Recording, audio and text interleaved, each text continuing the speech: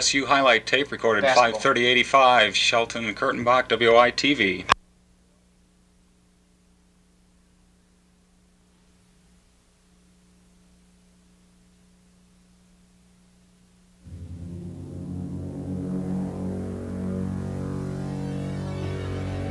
There's something magical behind these doors of Hilton Coliseum, and it's one of the biggest attractions in college basketball today. It's Iowa State's Cyclone basketball. No one can match our atmosphere. Standing room only crowds of 14,000 filled this Coliseum every game for Cardinal and Gold slam jam and excitement. Cyclone fans are supportive, vocal, loyal, and proud. Proud of their Cyclones and the fact that they themselves rank among the nation's top 10 in attendance. Johnny Orr and Iowa State have a love affair here. Orr has captured the hearts of fans statewide, and there's no other place he'd rather be. Johnny Orr's Cyclones have built a Midwestern contender, and they did it the old-fashioned way.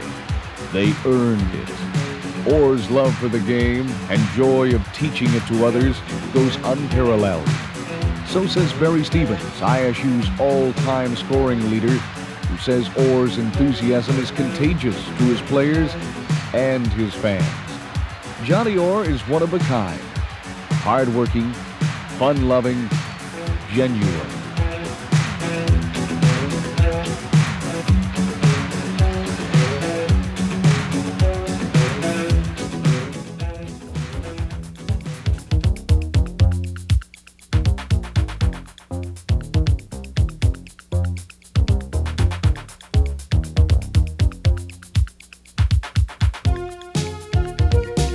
Just one year ago, Johnny Orr led the Cyclones to the school's first ever berth in the National Invitation Tournament.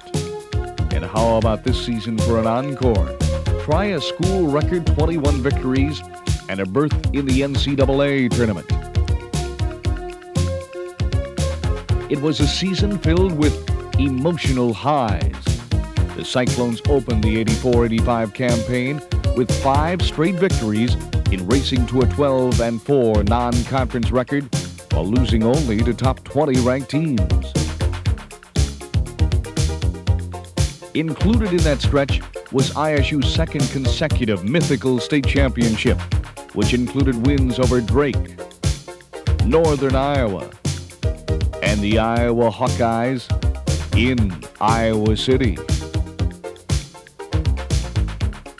After opening the conference season with a near upset at ninth-ranked Kansas, ISU ventured to Columbia, Missouri, where the Cyclones dethroned Norm Stewart's Tigers. From there, the Cyclones battled in the thick of a wild and woolly Big Eight title chase, which saw ISU finish third behind a pair of nationally ranked top 10 teams, Oklahoma and Kansas.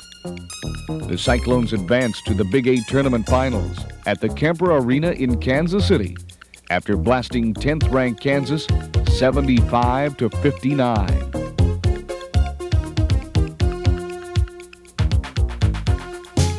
Then, just 12 hours later, they nearly dethroned fourth ranked Oklahoma before falling by just two points. That effort, coupled with season long success, helped land the Cyclones a berth in the NCAA tournament, the school's first since 1944.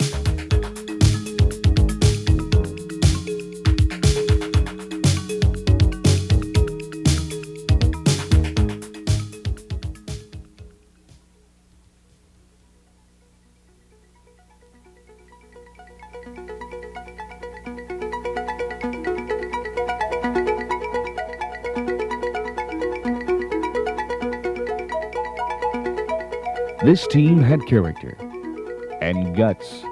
The Cyclones fought hard and played together. Flashy Barry Stevens was simply brilliant. He earned first team All Big Eight and All Midwest honors and rewrote ISU's record books.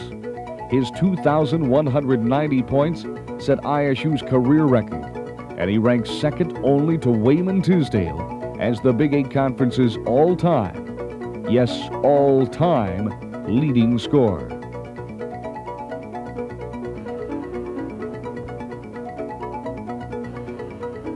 Jeff Hornacek, playmaker, shooting star, one of the best all-around guards in the Big Eight. And that's what earned him second team all-conference honors.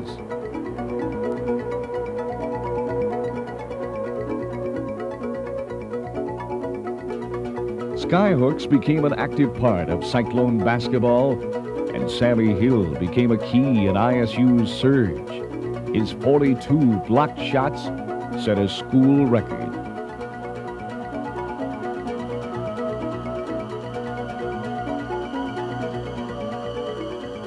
Two freshmen proved to be America's finest rookies. Forward Jeff Grayer and guard Gary Tompkins were honored with all Big Eight freshman status. Grayer played with veins of ice and a heart of gold. His 402 points were the most ever scored by an ISU freshman.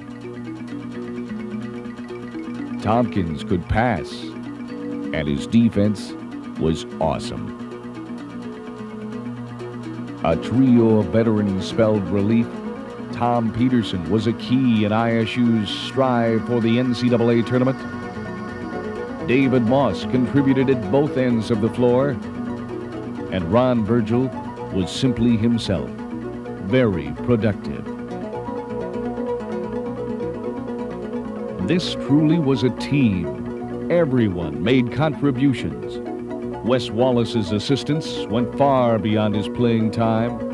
Frontliners Raynell Harris and Brad Dudek provided a needed inside punch.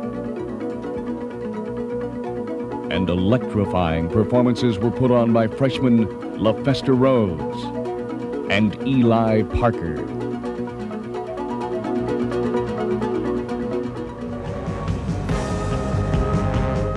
It takes resources to build a basketball power, and Iowa State's are among the nation's finest. Take our facility, James H. Hilton Coliseum, 14,000 seats in a plush setting. The fans are, without a doubt, the finest in the Midwest. They come in droves and pride themselves on their enthusiasm and sportsmanship. Our media exposure is at an all-time high. Aside from our record crowds, we had 21 games televised last year, including some nationally broadcast. Our student athletes are treated to the finest in care. Our strength and conditioning program is directed by a full-time specialist. And the center offers state-of-the-art equipment our conditioning program is a success and has provided Cyclone athletes with the extra edge it takes to compete on the national level. Basketball season calls for maximum strength, and our athletes get it through good nutrition. Our basketball training table is located inside our contemporary dormitories, we serve three meals daily, year around. Our beautiful campus offers students loads of activity we have 26,000 students hailing from diverse backgrounds. Ames is a storybook college town, yet just north of Des Moines, the state's capital. Iowa State University takes pride in its educational offerings, and our basketball players are provided with professional academic counseling services to help them reach their future goals. Our graduation rate for athletes is higher than any other Big Eight conference school. At Iowa State, we offer more than a scholarship. We offer an education. You're not just another face in the crowd at Iowa State. We're a high visibility program, the biggest show in town, and we're becoming recognized as one of America's finest. Big time basketball in a family atmosphere. We've got something special here at Iowa State, and we're reaching for the gold